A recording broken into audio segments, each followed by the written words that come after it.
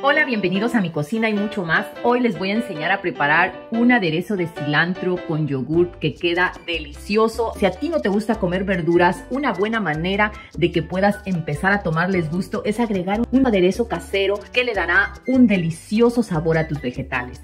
Así que vamos a pasar con los ingredientes, son muy sencillos. Ocuparemos ramas de cilantro, que sean muchas ramas de cilantro. Queremos que el aderezo tenga mucho sabor.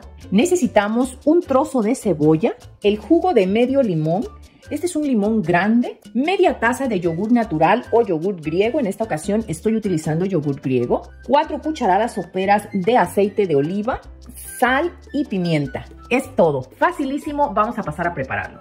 Acuérdate de lavar muy bien tu cilantro y vamos a poner en el vaso de la licuadora el cilantro, el trozo de cebolla. No le pongas mucha cebolla porque le va a dar un sabor muy fuerte y no queremos. Es un trocito. Agregamos el yogur el aceite de oliva, cuatro cucharadas soperas. Si tú estás buscando comer más natural, esta es una buena manera de empezar, comiendo tus vegetales con un aderezo casero. Voy a agregar el jugo de limón, le vamos a exprimir le agregamos pimienta molida a tu gusto, agrégasela.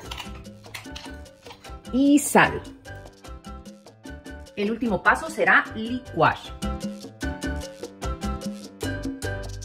Lo tenemos, licualo muy bien por un ratito para que quede perfecto. Qué bien nos quedó, espesito y delicioso. El limón tú se lo puedes agregar a tu gusto. Este botecito lo puedes llevar al refrigerador y te puede durar hasta por dos o tres días para que sigas comiendo tus ensaladas. Vamos a probarlo para decirte qué tal nos quedó. Quiero que veas la consistencia, mira, es una consistencia espesita, perfecta para que puedas acompañar tus ensaladas. Ahora lo vamos a probar, tengo por aquí un de pepino y le voy a poner un poquito para probarlo. Mm, buenísimo, se siente fresco, tiene un buen sabor, le da un toque acidito de limón que queda delicioso. Así que si tú quieres comer saludable, te dejaré otras ideas que te parecerán acá arriba o al final del video con ensaladas que son deliciosas. Así que me despido, espero les haya encantado este video y no olviden dejar sus comentarios y que están aquí en mi cocina y mucho más.